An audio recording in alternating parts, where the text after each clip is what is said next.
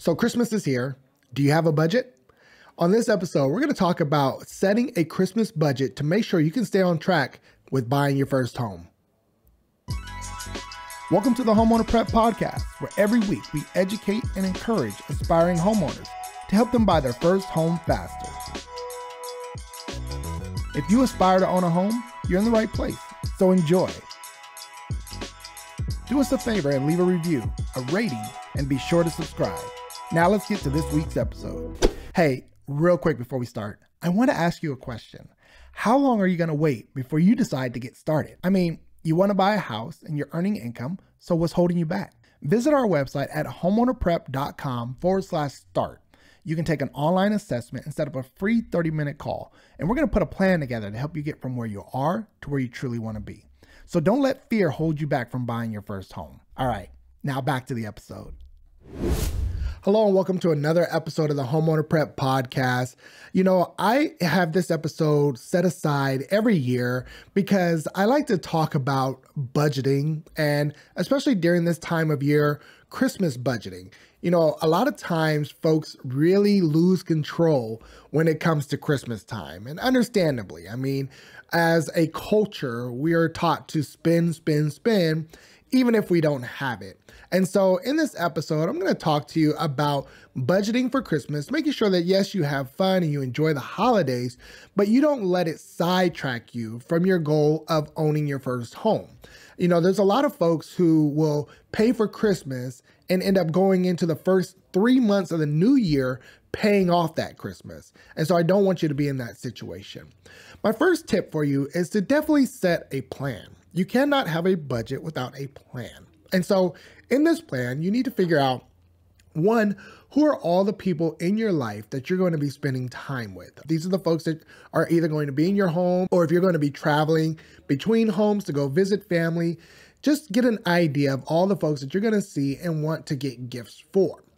The second thing you can do is once you have established how many people you're going to see and how many people you're going to be buying gifts for, try to figure out some wants and some needs for each of those folks. Some folks you may buy some needs for. Some people just really need something, and Christmas is a great time to get it for them. Where others you may not necessarily know what they need, and so you may buy something that they may want. And so that'll help you to kind of establish hey, here's how many gifts I'm going to be purchasing this year. And then the next step in that plan is to actually set the financial budget. So you know, okay, here are all the people, here are all the gifts, and here's how much I'm going to actually spend. And so when it comes to setting a Christmas budget, it helps to know who you're going to see, what they need or what they want, and then establishing a small budget, whether you're writing it down or using an app to just figure out how much you plan to spend for the year. That way, when Christmas is over, you can really measure your success. I mean, did you stick to your budget? Did you go over? If you did, by how much? Did you go under? And if so, by how much? What are you going to do with the money that you may have saved by staying under your budget. You know, by having a plan, you can really put some things into motion. And like I said, the biggest thing is that it won't distract you from your ultimate goal, which is buying your first home. So, yes, you want to create a plan. And in that plan and, and part of budgeting, the biggest hurdle to get over is peer pressure. You know, we are often pressured by family, by friends, by the culture, by commercials to spend, spend, spend. And so it's important that once you have a plan in place, that you stick to it and that you realize that yes, you're going to come up against different pressures or cultural norms, if you would, and how are you going to deal with those as they arise. And so have a plan in place for that as well. You know, obviously, one of the best ways to handle the peer pressure of overspending for the holidays is to use cash. I mean, a lot of folks will directly pull cash out of their account and they'll use cash as they're shopping. That way they can really feel the spending, they can stick to their budget, and they can really see how much they're spending on each item, each gift, and each person.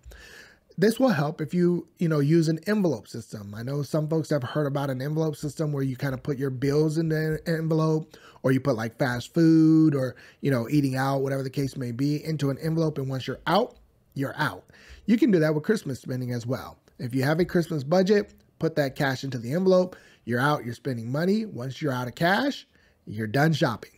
And that'll help you to protect against the peer pressures of the culture. So I would definitely suggest you using something like that if you can, if you really struggle with peer pressure. The third thing I do want to talk about is actually a phenomenon that we see each and every year where folks are putting all their Christmas spending on credit cards.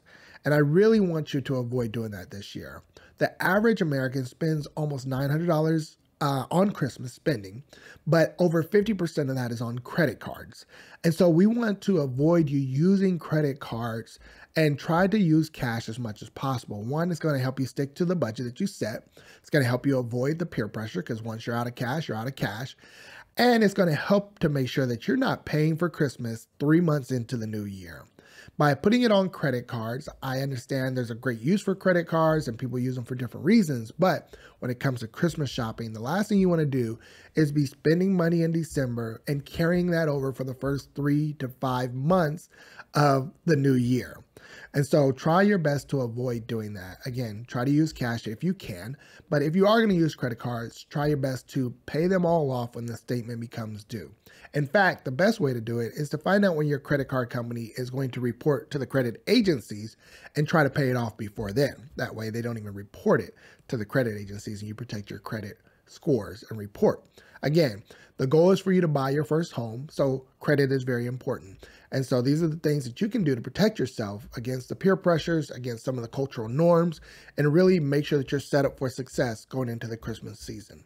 If you need any help with establishing a budget and just sticking to a budget or some advice on different apps to use, anything like that, you can definitely reach out to us. You can visit us on our website at homeownerprep.com forward slash start. There you can get started with us as far as sitting down, creating a budget, and really looking at the goal of home ownership and how to get there. Um, but if you just have a direct question that you need answered or you know uh, advice to a particular app that you want to use, definitely feel free to reach out to us on all of our social media channels. We tend to get the majority of our questions on Instagram, so you can find us on Instagram at Homeowner Prep. I hope you got some value from today's episode. I know that we're coming into the Christmas season. There's a lot of spending taking place. I hope you spend smartly. I hope that you set a budget and you stick to your budget so that that way you can make sure that you're on track to buying your first home in the new year. I look forward to providing you with some great info on the next episode. And until then, be blessed. If you've enjoyed this show and got some great value from it, please be sure to rate and review. And if you're checking it out on YouTube, please be sure to subscribe. That really does help us to continue the show and bring in some great guests to help you on your home buying journey.